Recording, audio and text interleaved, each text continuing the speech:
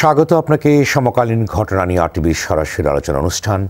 নিটোল tata award democracy দেখার জন্য সঙ্গে আছি আমি সেলিম আমরাও খান। দর্শক, আজ আমাদের আলোচনা বিষয় নতুন মন্ত্রিসভা ও আগামীর রাজনীতি। আর এ বিষয়ে আলোচনা করবার জন্য আজ স্টুডিওতে উপস্থিত আছেন। সংসদ বিষয়ক মন্ত্রণালয় সম্পর্কিত স্থায়ী কমিটির সাবেক সভাপতি প্রফেসর আব্দুল মান্নান, রয়েছেন সিনিয়র সাংবাদিক আবু সাইদ খান এবং বিএনপির ভাইস চেয়ারম্যান শামসুজ্জামান দুদু। আসবার জন্য আপনাদের তিনজনকেই স্বাগত। দর্শক, আপনি আলোচনা অংশ নিতে পারেন, টেলিভিশনের পর্দায় দেখানো নম্বরে ফোন করে আপনি প্রতিক্রিয়া দিতে পারেন, মতামত জানাতে পারেন, প্রশ্ন করতে পারেন। অনুষ্ঠানটি ইউটিউবে দেখতে পারেন আর ফেসবুকে সরাসরি দেখতে ভিজিট করুন Facebook dot com slash R TV online আজকের আলোচনা বিষয়, নতুন মন্ত্রিসভা ও আগামীর রাজনীতি। দর্শক, আপনারা জানেন নানামুখী আলোচনা ও গুঞ্জনের মধ্যে শপথের একদিন আগেই সংবাদ সম্মেলন করে ঘোষণা করা হয়েছে নতুন মন্ত্রিসভার সদস্যদের নাম। প্রধানমন্ত্রীর সাতচল্লিশ সদস্যের নতুন মন্ত্রিসভায় সাতাশ জনই নতুন মুখ। নবগঠিত মন্ত্রিসভায় স্থান হয়নি বিদায়ী সরকারের থাকা ছত্রিশ জন জনের। গত দুইবারের শরিক দলের নেতাদের নিয়ে সরকার গঠন করলে এবার নতুন মন্ত্রিসভায় সবাই আওয়ামী লীগের। এদিকে একাদশ জাতীয় সংসদ নির্বাচনে ঐক্যফ্রন্টের বিজয়ী সাত সদস্যে কেউ শপথ নেবে না বলে জানিয়েছে দলের নেতারা। রাজনৈতিক বিশ্লেষকরা বলছেন, এক পক্ষের বিপুল বিজয় ও অন্য পক্ষের ভরাডুবির মাধ্যমে একাদশ জাতীয় সংসদ নির্বাচন বাংলাদেশের রাজনীতিতে বড় ধরনের পরিবর্তন সৃষ্টি করেছে। আগামী দিনের রাজনীতিতে আওয়ামী লীগ জনমুখী শাসন ব্যবস্থার দায়িত্বশীল ভূমিকা পালন করতে হবে। অন্যদিকে নিতে হবে বিএনপিকে ঘুরে দাঁড়ানোর চ্যালেঞ্জ আলোচনা করবার তিনি তিনজন আলোচক। আলোচনা বিষয়, নতুন মন্ত্রিসভা ও আগামীর রাজনীতি। প্রথমেই শামসুজ্জামান দুদু। আপনি তো শামসুজ্জামান দুদু, আপনার দৃষ্টি আকর্ষণ করছি। আপনি তো জানেন যে গত তিরিশ ডিসেম্বর জাতীয় সংসদ নির্বাচন অনুষ্ঠিত হয়ে গেল। এক্ষেত্রে বিএনপি পেয়েছে সাতটি এবং সর্বসাকুল্যে তারা ঐক্যফ্রন্ট মিলে পেয়েছে সাতটি আসন এবং মন্ত্রিসভার ঘোষণা দেওয়া হয়েছে এবং যেটি জাতীয় ঐক্যফ্রন্ট এবং বিএনপি কেউ শপথ নিচ্ছে না তাদের সংসদের আহ, এর ভিতরে যারা বাংলাদেশের যারা যে সমস্ত কূটনীতিক আছেন তাদের সঙ্গে সভা করেছেন আপনাদের দলের পক্ষ থেকেও কোন দিকে যাচ্ছে রাজনীতি? জি আপনাকে ধন্যবাদ। গত বছরের তিরিশ তারিখে যে নির্বাচনটা আমরা দেখেছি তাতে আমার কাছে মনে হয়েছে গত সাতচল্লিশ বছরের মধ্যে যে নির্বাচন ব্যবস্থা আমরা প্রত্যক্ষ করেছি, যেমন প্রথম তিয়াত্তর সালে যে নির্বাচন, শেখ মুজিবুর রহমানের জামানায় তার নেতৃত্বে যে প্রথম নির্বাচন, তারপরে দলীয় সরকারের অধীনে নির্বাচন, সামরিক সরকারের অধীনে নির্বাচন, তত্ত্বাবধায়ক সরকারের অধীনে নির্বাচন, আবার দলীয় সরকারের অধীনে নির্বাচন তা আমার কাছে মনে হয়েছে ব্যক্তিগতভাবে আমি যেটা অবলোকন করেছি, আমরা ক্রমান্বয়ে নিচের দিকে নেমেছে। এতই খারাপ, শুরু এবং শেষ, ভয়াবহ, ভয়ঙ্কর সাদৃশ্যতা আছে। কেউ কেউ সংখ্যাতত্ত্বের বিচারও করছে। প্রথম পার্লামেন্টে সাতজন বিরোধী দলের সদস্য দেওয়া হয়েছিল। আর এবার দেওয়া হয়েছে সাতজন, দেওয়া হয়েছে। কথাটা না দিলে এই সাতটাও পেত না।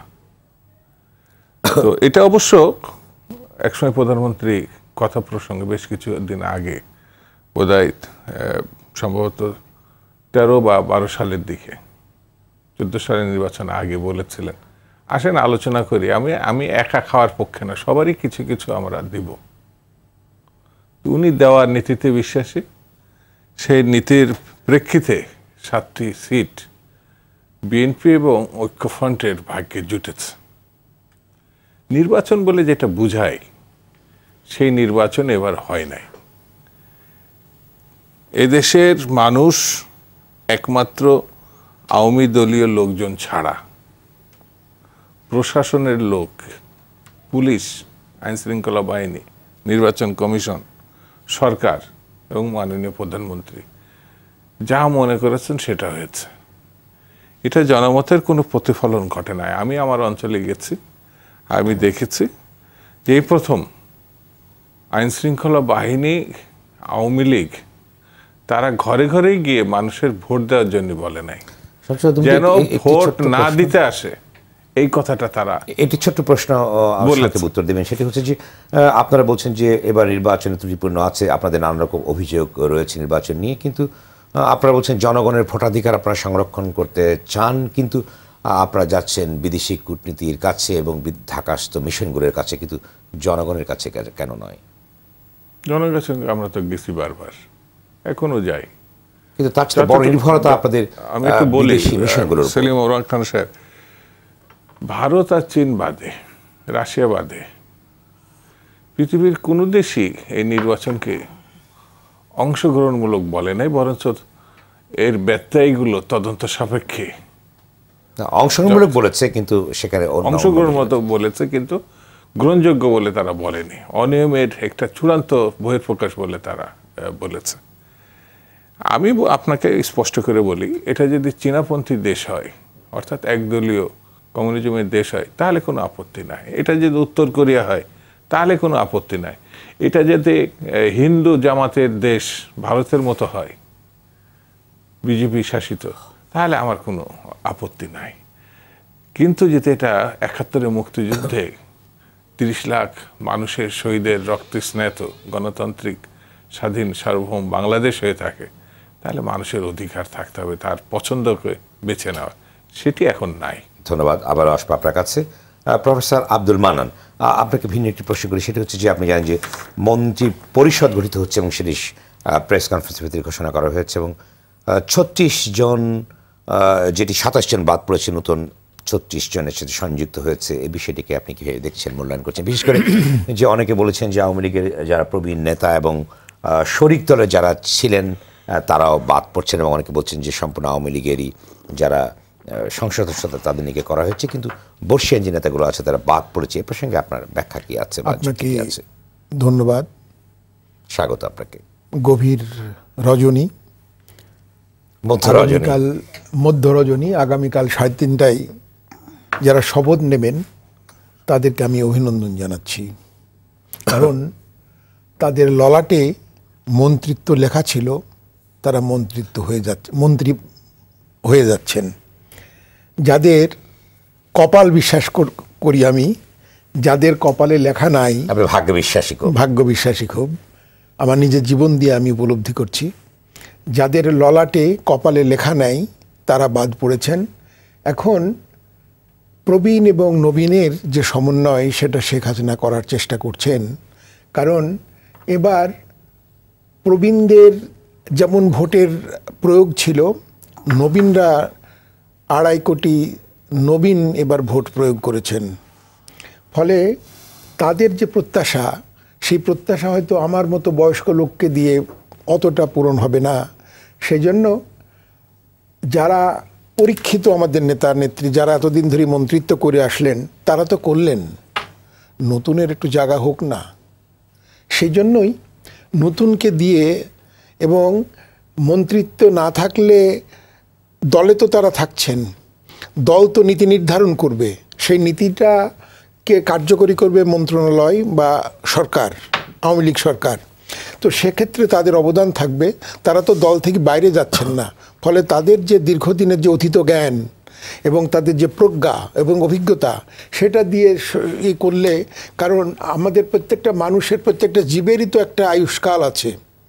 তো সেজন্য আমি এখানে কোনো ত্রুটি দেখছি না। আর যারা আমাদের সাথে মহাজোটের আমাদের সঙ্গে যারা এসেছেন তারাও তো অনেকবার মন্ত্রিত্ব করেছেন।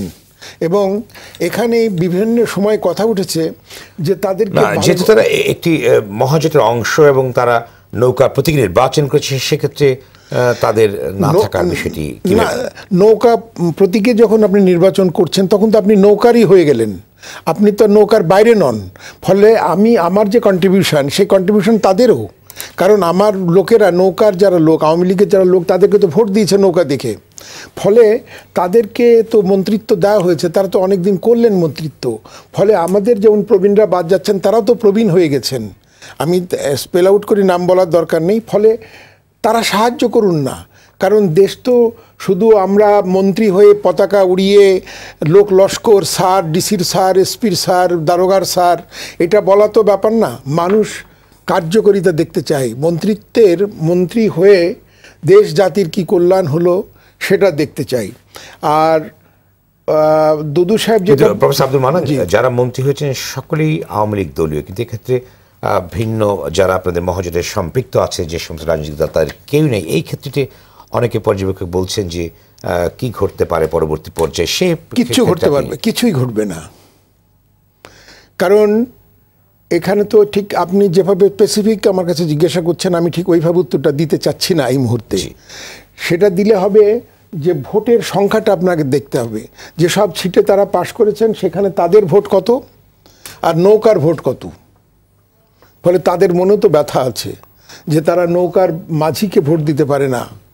তারা অন্য লোককে মশালকে ভোট দিতে হচ্ছে বা অন্য কিছুকে ভোট দিতে হচ্ছে। সেজন্য এটা নিয়ে দুশ্চিন্তার কোনো কারণ শেখ হাসিনার নেই। কারণ এই দেশের মানুষ শেখ হাসিনাকে ম্যান্ডেট দিয়েছে। এবং আপনি অন্য প্রশ্নে উনি যে প্রশ্ন করেছেন সেখানে যদি আপনি বলেন আমি কিছু উত্তর দিতে পারি। বলুন সংক্ষেপে বলুন। সেখানে হয়েছে কি যে ওনারা নমিনেশনের ক্ষেত্রে ওনাদের কিছু প্রবলেম দেখা গেল। দেখা গেল যে ওনাদের যে সভানেত্রী বা চেয়ারপারসন, সেখানে পরিচিত লোকজন গিয়ে ঘর ভাঙলো, বাড়ি, অফিস ভাঙলো, যে তারা নমিনেশন পায়নি, ওইখানে ঘুষের কথা বলা হলো, টাকার আদান প্রদান হলো। ডক্টর কামাল হোসেন সাহেব বললেন যে, যদি বিএনপিকে নমিনেশন ধানের শীষ দেওয়া হয় জাতি, জামাতকে তাহলে পরে আমি এই সিদ্ধান্ত আসতাম না। তারা কোর্টে অনবরত কোর্টের মুখী, সম্মুখীন হলেন। নির্বাচন কমিশন থেকে হচ্ছে হাইকোর্টে যাচ্ছেন, তারপরে অ্যাপিলেট ডিভিশনে যাচ্ছেন। এবং তাদের প্রধানমন্ত্রী, মানুষ তো একটা দেখতে চাই যে আমি কাকে ভোট দিচ্ছি, কার নেতৃত্বে এই দেশে প্রধানমন্ত্রী হবে, তারা সেসব বলতে পারলেন না। এই যে জটিলতাগুলো এবং তারা ভোটের মাঠে, আমিও ভোটে নমিনেশন না পেলেও আমি ভোট করতে গেছিলাম আমার নির্বাচন এলাকায়। এবং আমার নির্বাচনী এলাকার যিনি প্রতি এমপি হয়েছেন, তিনি জনপ্রশাসনের প্রতিমন্ত্রী হয়েছেন, তাকে আমি আন্তরিক ধন্যবাদ জানাচ্ছি, অভিনন্দন জানাচ্ছি। তো সেখানে আমরা, আমি দেখছি, আমি অনেস্টলি আপনাকে বলছি যে আমি বিএনপির লোককে, বা ঐক্য ফ্রন্টের লোকজনকে আমি পেলাম না। আমি চেষ্টা করেছিলাম, কারণ আমাদের ছোট জায়গা একসঙ্গে সবাই সবাইকে চিনে ফলে কাউকে মারতে হলে, কাউকে ধাক্কা দিতে হলে তো চক্ষু লজ্জাও তো একটা থাকে। তো সেই সুযোগটাও হলো না। কারণ তারা এবং তারা পোস্টার ছাপলেন না। তারা বাড়ি বাড়ি যে আমাদের কথা বলছেন, তারাও বাড়ি বাড়ি যাননি। আমাদের তো মিটিং, মিছিল আমরা তো করেছি। ফলে তারাও কেউ বাড়ি বাড়ি যাননি। তারা বিপ্লব হবে। আর্মি নামবে চব্বিশ তারিখে, পঁচিশ তারিখে বা চব্বিশ তারিখে দিবাগত রাত থেকে একটা বিপ্লব হবে। এরকম একটা ধ্যান নিয়ে তারা বসেছিলেন হয়তো। সেই জন্য তারা মানুষের সম্মুখীন হননি। এবং রিজভি সাহেব সবসময় বলতেন যে তিনশো সিটের জন্য নশো জন প্রার্থী রেডি তো নশো জনই তাদের রেডি আছে কিন্তু একজন প্রার্থী বাদ যাচ্ছেন আরেকজন প্রার্থী আসছেন। ফলে ওনাদের ভোটার আছে ওনাদের লোক আছে সব আছে কিন্তু তারা নির্ধারণ করতে পারছে না যে তাদের নেতা কে হয়ে আসবেন। প্রার্থী কি প্রার্থী হচ্ছেন কে নেতা হবেন তাদের? তো এই সমস্ত কারণগুলো আরও বিস্তারিত বলা যায়। তো আপনি তো আমাকে দিতে চাচ্ছেন না। এই সমস্তগুলো এই সমস্ত কারণে মানুষের মধ্যে একটা প্রত্যয় জাগাতে পারেননি ওনারা, একটা বিশ্বাস, একটা আস্থা।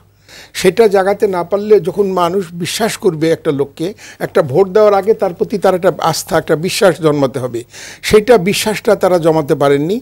এটা তাদের সাংগঠনিক দুর্বলতা বা অন্যান্য, এরা বলবেন এবং শুধু আমি বলার না, এটা এবং আরেকটি কথা এখানে এসেছে এক সেকেন্ডের জন্য, আরেকটি কথা এসেছে যে পৃথিবীর সব দেশ এই সরকারকে অভিনন্দন জানিয়েছে।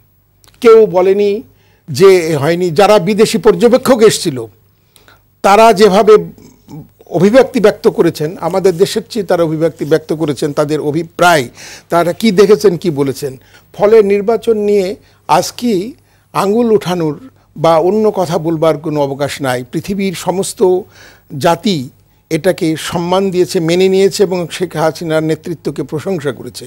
ফলে এ নিয়ে আবু সাইদকে আপনি কীভাবে দেখছেন? বিশেষ করে আমি দুটি প্রশ্ন আপনাকে করব, সেটা হচ্ছে মন্ত্রী পরিষদে সাতাশ জনের নতুন মুখ এবং বেশ সিনিয়র আওয়ামী লীগ নেতারা বাদ পড়েছেন, মহাজিতের শরিকরাও বাদ পড়েছেন।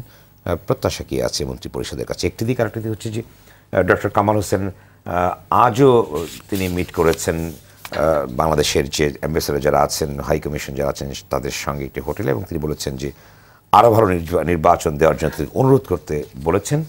অন্যদিকে শপথ নিচ্ছে না যারা ঐক্য ফ্রন্টের নির্বাচিত সংসদ সদস্য কিংবা যারা বিএনপির এ প্রসঙ্গে আপনার ব্যাখ্যা কি আছে? আচ্ছা, আওয়ামী লীগের মনোনয়নের সময় আমরা শুনেছিলাম যে চমক দেখাবে চমক আছে কিন্তু চমকটা দেখাতে পারেনি। তবে মন্ত্রী পরিষদ গঠনের ক্ষেত্রে চমক দেখিয়েছেন।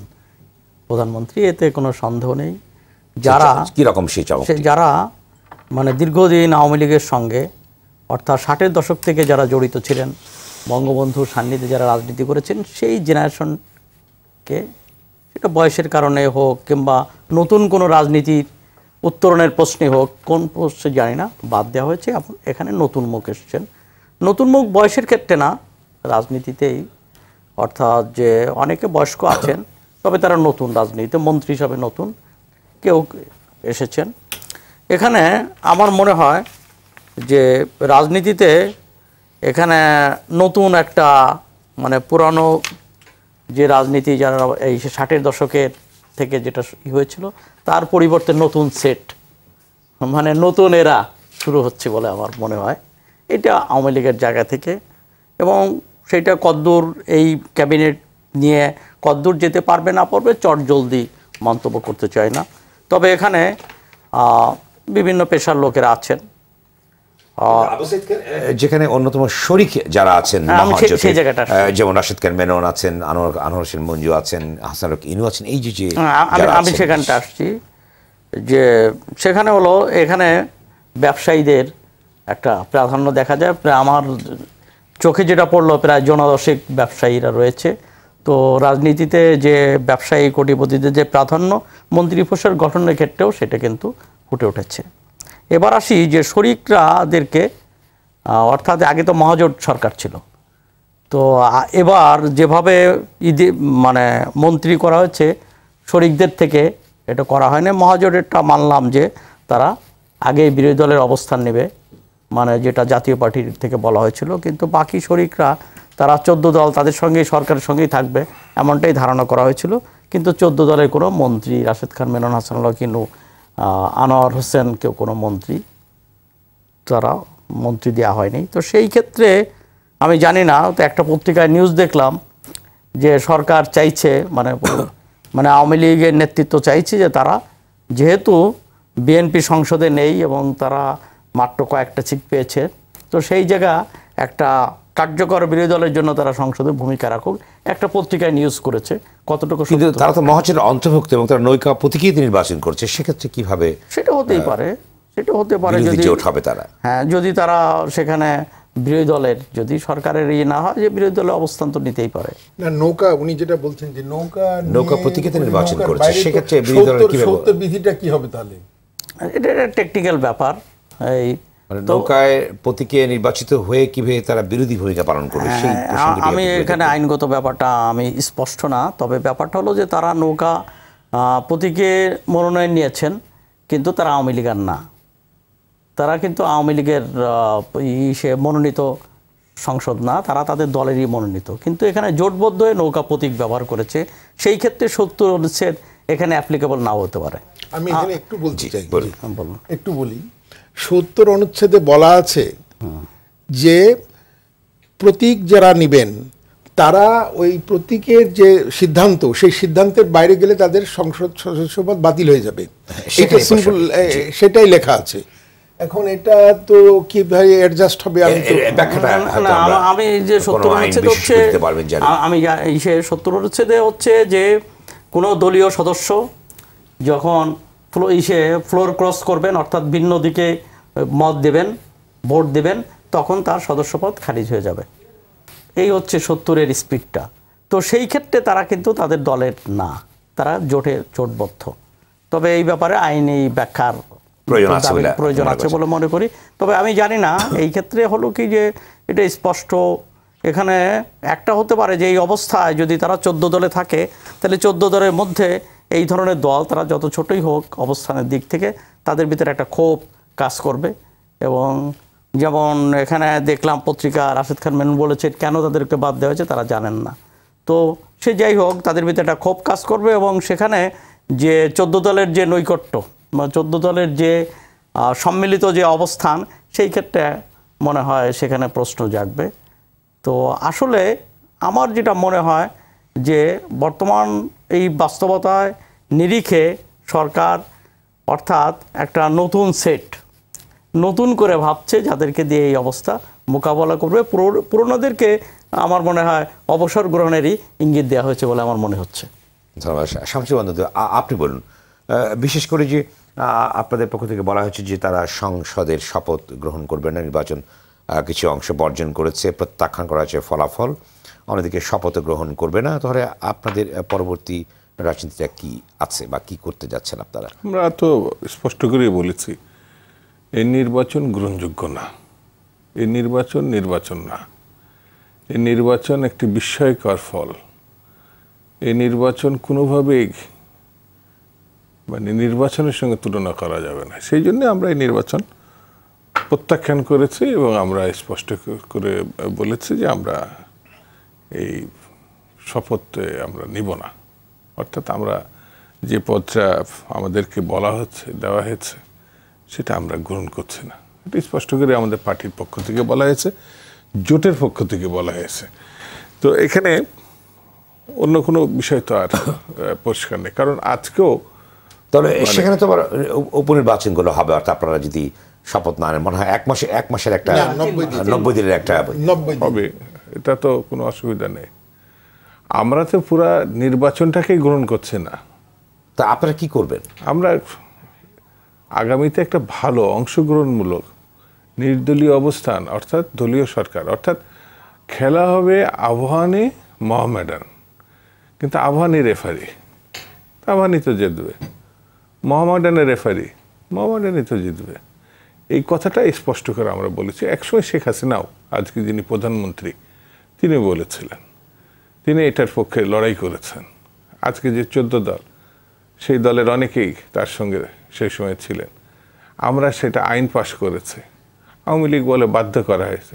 বাধ্য হয়ে আমরা আইন পাশ করেছি। আবার আওয়ামী লীগ ক্ষমতায় এসে এটা বাতিল করেছে, বলছে কোর্ট বলেছে।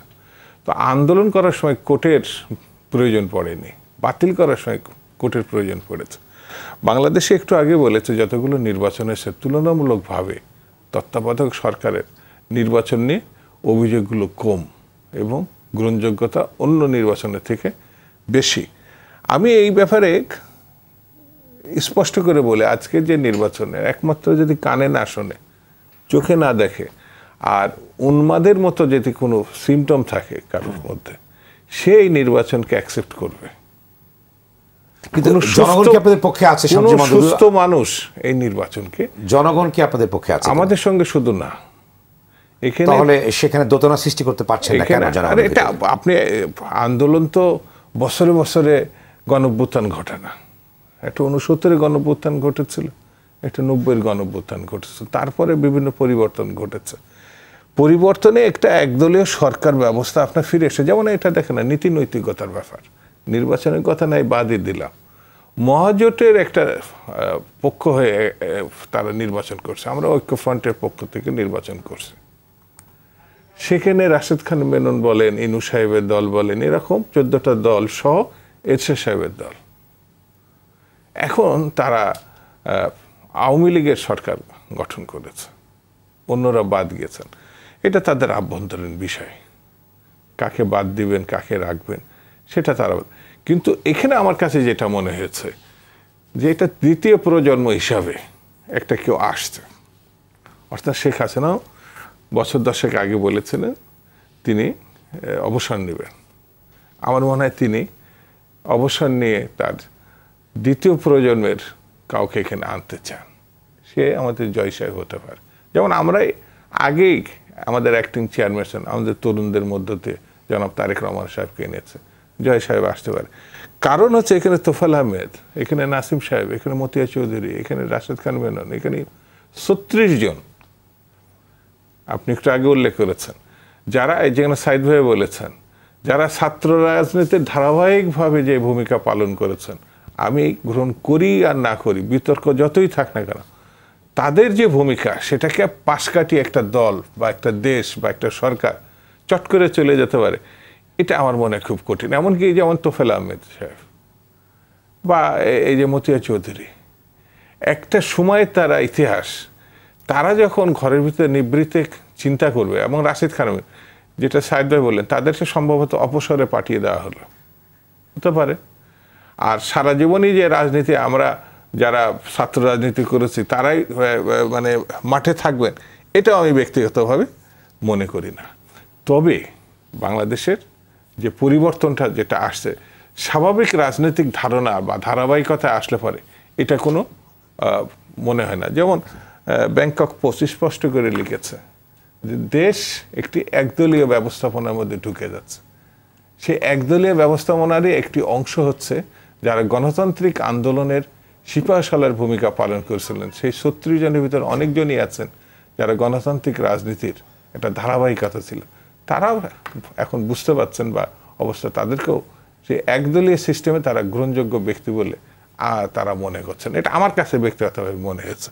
তো সব মিলিয়ে যেটা হচ্ছে, যেমন এটা সাইদবা বলেছেন যে এই যে যারা আসলেন, বয়সও আছে তরুণের তরুণের সংখ্যাই বেশি, তারা ভালো করবে না তারা ব্যর্থ হবে, সেটা কিন্তু এখনই বলা খুব কঠিন।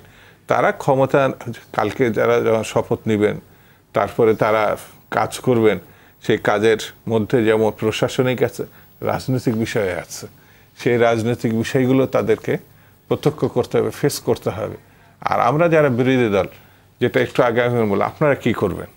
আমরা একটা স্বচ্ছ, গ্রহণযোগ্য, অংশগ্রহণমূলক নির্বাচনের জন্য আমরা চেষ্টা করব এবং সেই নির্বাচনটা তত্ত্বাবধায়ক ব্যবস্থার আদলে, অর্থাৎ নির্দলীয় সরকারের অবস্থানটা থেকে যাতে হয়, সেই চেষ্টা করব, যেটা এক মাস পরে হতে পারে কিন্তু আপনার তো মিনিস্টার বলেছেন যে নির্বাচন আপনার আন্দোলনের অংশ হিসেবে নিয়েছেন আপনারা তো হ্যাঁ সেই আন্দোলনেই তো। আছি আমরা এখনও। আমরা তো এখনও আন্দোলনে আছি। আমি তো বলি নাই যে আমরা বিরোধী দলের পক্ষতে যাব। এবং সংবিধান এমন কোনো কথা লেখা নেই যে আপনার সাতজন পাঁচজন হলে বিরোধী দল করা যাবে না। তিরিশ জনই হতে হবে। কে চল্লিশ জন হতে হবে। এই ধরনের কোনো কথা সংবিধানে আপনারা বলেছেন যে অংশগ্রহণ আপনাদের আন্দোলনের অংশ এবং শপথ না নেওয়া আপনাদের আন্দোলনের অংশ। আমি আলোচনা আসবে, একটি বিরতিতে যেতে হচ্ছে। দর্শক, সময় হলে বিরতির আপনারা দেখছেন আলোচনা টোল টাটা আওয়ার ডেমোক্রেসি। ফিট শীঘ্রই সঙ্গেই থাকুন।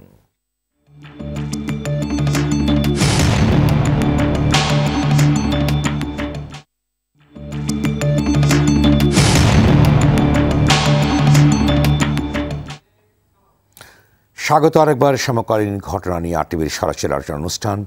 নিটোল টাটা আওয়ার ডেমোক্রেসিতে সঙ্গে আছে মিস্টার ইমাম রাও খান। আলোচনা বিষয়ে নতুন মন্ত্রিসভা ও আগামীর রাজনীতি আলোচনায় আছেন প্রফেসর আব্দুল মান্নান, আবু সাইদ খান এবং শামসুজ্জামান দুদু। প্রফেসর আব্দুল মান্না আপনি আপনি বলুন যে বিএনপির পক্ষ থেকে বলা হচ্ছে, বিশেষ করে ডক্টর কামাল হোসেন গতকাল সন্ধ্যায় যে রিপোর্টটি বেরিয়েছে, তিনি কূটনীতিকদের সঙ্গে বসেছেন এবং পুনর্নির্বাচনের দাবি করেছেন এবং এই নির্বাচনকে সম্পূর্ণ প্রত্যাখ্যান করেছে এবং বলেছেন, আন্দোলন হবে পর্যায়ক্রমে। আপনি এই প্রসঙ্গে আপনার কি মন্তব্য আছে? তিন পনেরো বছর চলে গেল। আন্দোলনের কথা কামাল হোসেন সাহেব তো আর আন্দোলনে ছিলেন না, বিএনপি ছিল। ওনারা আন্দোলনের কথা বলেছেন, আন্দোলনকে জমাতে পারেনি, তুলতে পারেনি, আন্দোলন করতে পারেননি এতে করে সবই হতে পারে, কিন্তু আমরা বাহ্যত কোনো আন্দোলন করতে পারবেন বলে মনে হয় না। আর কামাল হোসেন সাহেব এক এক সময় এক এক ধরনের কথা বলছেন। ওনার কথার ভিতরে ইনকনসিস্টেন্সিটা খুব বেশি। কারণ আমার একটু বলার আছে যে, দেশের একটা অভিভাবক লাগে। কামাল হোসেন সাহেবের যে একাডেমিক রেজাল্ট এবং তার বঙ্গবন্ধুর সংস্পর্শতা দেখে আমি আমি তাকে মনে করতাম দেশের কোনো দুর্যোগ হলে এই লোকটি বোধহয় কোনো কাজে আসবে বা মানুষের পাশে দাঁড়াতে পারবে। কিন্তু এবারকার তার পারফরমেন্স দেখে, তার কথাবার্তা দেখে তিনি পুলিশকে এক কথা বলেন, তিনি সাংবাদিককে বলেন যে তুমি ঘুষ খেয়েছো, তুমি টাকা নিয়েছো, খামুশ। এই কথাগুলো তো জাতির জন্য আমরা যখন অন্য জাতির সামনে দাঁড়াই তখন তো কামাল হোসেন সাহেব আমার বিরুদ্ধের পক্ষের লোক, আমি তার বিরুদ্ধের পক্ষের লোক, এটা বলি না, আমরা বাংলাদেশের লোক। এবং তিনি জানোয়ার বলেন পুলিশকে, তার পুলিশ, তাকে পাহারা করছে। এই সমস্ত জিনিসগুলো কামাল হোসেন সাহেবের যে ক্রেডিবিলিটি ছিল, যে মানুষের প্রতি, মানুষের যে, ওনার প্রতি যে একটা বিশ্বাস, আস্থা, সেটা উনি যে কোনো কারণেই হোক, উনি হারিয়ে ফেলেছেন। এটা বলতে আমার দ্বিধা নেই, হারিয়ে ফেলেছেন। এবং আমি ব্যক্তিগতভাবে আর ওনাকে মনে করি না যে জাতির কোনো ক্রান্তি লগ্নে উনি কোনো কাজে আসবেন এবং ওনার পরিবার থেকে মুক্তিযুদ্ধ নিয়ে নানান প্রশ্ন উঠেছে মুক্তিযুদ্ধের সংখ্যা নিয়ে নানান কিছু হয়েছে।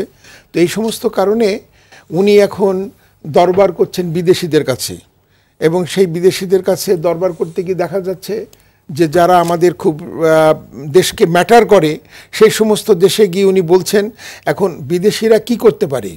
বিদেশিরা আপনাকে বলবে যে, এটা আমরা ভালো হয়নি। কিন্তু আপনার সঙ্গে লাইনে দাঁড়িয়ে তো সংগ্রাম করবে না। আপনার, আমাদের সঙ্গে লাইনে দাঁড়িয়ে তো হরতাল করবে না। ফলে নিজের শক্তি, সেই শক্তিটা যদি না থাকে এবং কামাল হোসেন সাহেবের সঙ্গে ঐক্যজোটের একটা ঐক্য ফ্রন্টের একটা ফাটল ধরেছে বলে অনেক মনে করছে, কারণ উনি ওনার লোকদেরকে ইনডাইরেক্টলি বলেছেন যে তোমরা শপথ নিতে পারবে, একটু দেরি আছে। ওনার তো মানে গণফোরামের তো দুজন আছেন, তো তাদেরকে উনি বলেছেন। ফলে ওনার ওনার মানে এটা ওনার ডিসিপ্লিন আর বিএনপির ডিসিপ্লিন কিন্তু এক ডিসিপ্লিনে মিলছে না। সেই জন্য কিন্তু ওনার ওনার মোস্তাফা হোসেন মন্ত্রী যিনি মুখপাত্র তিনি বলেছেন গণফোরামে তিনি বলেছেন যে তারা শপথ গ্রহণ করবেন না। তাহলে দলের পক্ষ থেকে তো বলা হলো। আমি করবে তা বলিনি কিন্তু কামাল হোসেন সাহেব বলেছেন যে করবে। আমরা করব আমরা এটা আমরা আমাদের লোক কি মনে করেন যে হঠাৎ ঘুরে যাওয়ার কারণটা কি মনে করেন আপনি? এটা আমি ইনকনসিস্টেন্সি বলেছি। উনি কোনো জিনিসটাকে ধরে রাখতে পারছেন না। উনি যে একটা জায়গায় দাঁড়াবেন সেই দাঁড়িয়ে যে বলবেন, নাহলে উনি উনি একটা সাধারণ লোক জানে যে বিএনপি জামাতকে নিয়ে ভোট করবে। উনি বললেন যে, ওদেরকে যে ধানের শীষ দেওয়া হবে, আমি জানলে আসতাম না। এই কথা তো ওনার বাংলার মানুষ ইউনিভার্সিটি ডিগ্রি না থাকতে পারে, কিন্তু বাংলার মানুষ তো সব বোঝে তো মহান মুক্তিযুদ্ধে অংশগ্রহণ করা একটা জাতি। সেই জাতিকে এত বিফুল, এত বোকা বানালে, বিফুল করলে আপনার তো চলবে না। তো সেজন্য উনি যদি দেশের দেন দরবার করে দেন দরবার করে নিজের শক্তি ছাড়া সেলিম আমরা নিজের শক্তি ছাড়া দলের সংগঠন ছাড়া দেন দরবার করে বিদেশিদের দোয়ার নিয়ে তাবিজ দিয়ে দেশের কোনো বিপ্লব আনা করা যাবে না। এটার জন্য আপনার দেশবাসীর উপর নির্ভর করতে হবে সংগঠনকে শক্তিশালী করতে হবে সংগঠনকে গতিশীল করে সেই সংগঠনের উপরে নির্ভরশীল হয়ে বিদেশিদের দোয়া তাবিজে পানি পড়ায় কিছু হবে না। আপনাকে অগ্রসর ধন্যবাদ। আবু সাইদ আপনি কি মনে করেন যেটি প্রফেসর আব্দুল মান্নান বলেন যে বিদেশিদের কাছে যে ধারণা দেওয়ার প্রবণতাতে কাজ হবে না জনগণকে ফেরত আসতে হবে। এই যে বিদেশিদের কাছে যাওয়ার যে প্রবণতা আমরা লক্ষ্য করছি আগেও ছিল এখনও আছে সেই প্রক্রিয়াটা অব্যাহত আছে। এ প্রসঙ্গে আপনি কি বলেন আমারও মনে হয় যে এটা কোনো লাভ নেই। তারপরে যাওয়াটা একটা রেওয়াজে পরিণত হয়েছে।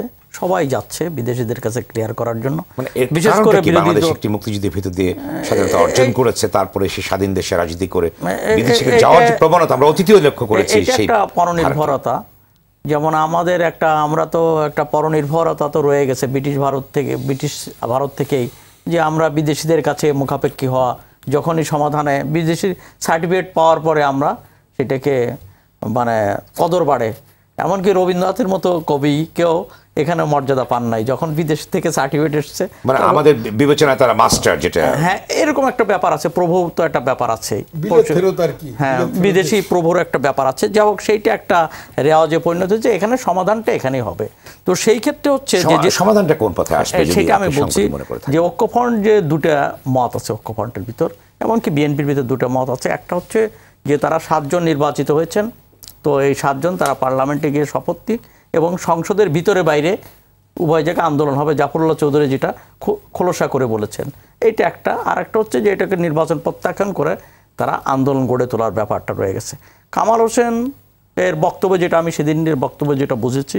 তো উনি মনে করছেন যে এই মুহূর্তে ওই ধরনের মানে দুর্বার আন্দোলন গড়ে তোলা সম্ভব না।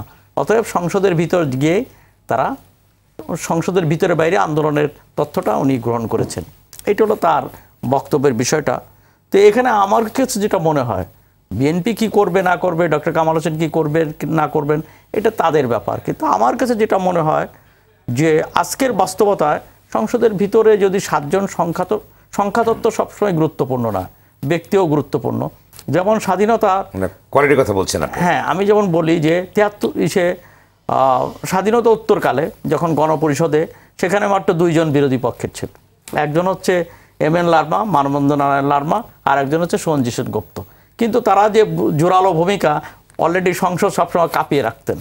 এবং তাদের যুক্তি খণ্ডন করার জন্য মানে কয়েক ডজন নেতাকে পাল্টা দাঁড়াতে হয়েছে। এটা হলো এই। অতএব দুইজনও এখানে কার্যকর ভূমিকা রাখতে পারে। এবং ওখানে বিজেপিরই মাত্র এক সময় দুইজন সদস্য ছিল। তো সেই জায়গা থেকে আমার মনে হয় যে সংসদের ভিতরে বাইরে আন্দোলনের ব্যাপারটাও তারা ভেবে দেখতে পারেন। এটা কিন্তু সংসদে অংশ হ্যাঁ, নিতেও পারে। হ্যাঁ এটা আপোষের ব্যাপার না। রে- নির্বাচন প্রত্যাখ্যান রায় প্রত্যাখ্যান করেও সংসদে যাওয়া যায়। এতে আপত্তি কিছু আছে বলে হ্যাঁ, আমার মনে হয় প্রথম কথা বলি যে সিক্সটি সিক্সে যখন শেখ মুজিবুর রহমান সাহেব আওয়ামী লীগের পক্ষ থেকে ছয় দফা দিয়েছিলেন তো ছয় দফার পরে পাকিস্তানিরা আওয়ামী লীগ এবং শেখ মুজিবুর রহমান সাহেবের উপরে যে আক্রমণ করেছিলেন, মামলা দিয়েছিলেন জেলে নিয়েছিলেন, তখন একজন নেত্রীর আবির্ভাব হয়েছিল। এটা ইতিহাসে দেখা যাবে। তার নাম আমেনা বেগম। অর্থাৎ তিনি মহিলা বিষয়ক সম্পাদিকা ছিলেন। পরে ভারপ্রাপ্ত সাধারণ সম্পাদক আওয়ামী লীগের হয়েছিলেন। নবাবপুরে তাদের সেন্ট্রাল অফিস ছিল আওয়ামী লীগের। তখন বলা হয় যে বাতি জ্বালানোর মোমবাতি জ্বালানোর মতো কেউ ছিল না আওয়ামী লীগের। সব হয় জেলে নাই পালিয়ে এই অবস্থায় ছিল সে আক্রমণের মধ্যে। শেখ শেখ মুজিবুর রহমান সাহেব এবং আওয়ামী লীগ ঊনসত্তরের গণভ্যুত্থানের পর সত্তরের নির্বাচনে দেখা গেছে এটা বাতি নেভার মতো দল না। এটা বাতি জ্বলে উঠছে।